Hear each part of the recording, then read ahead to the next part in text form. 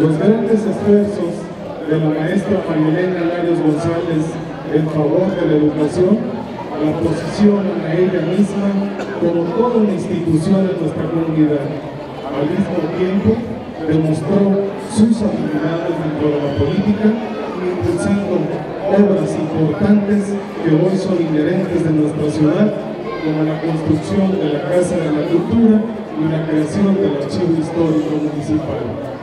La maestra María Elena Larios González es un ejemplo claro de que cuando se quiere, se puede. Muchas gracias por ser un ejemplo de vida para todos nosotros. El motivo principal que nos reúne el día de hoy es brindarle un merecido reconocimiento a la vocación, la constancia, esfuerzo, trabajo, estudio continuo y convicción de servicio a favor de la niñez zapotlense. Todo esto describe a la maestra Marilena Larios González.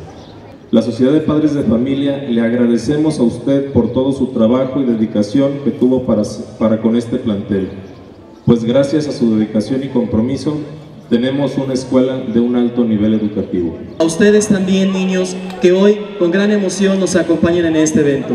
Gracias por estar aquí, gracias por... Escuela, mujeres y hombres que ahora toman parte en las decisiones de nuestra ciudad, de nuestro estado. Las.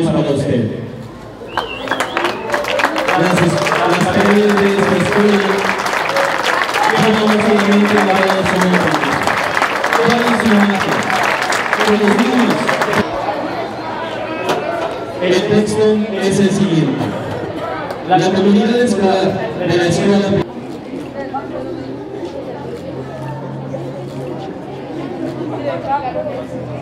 Vem ver minha bênção.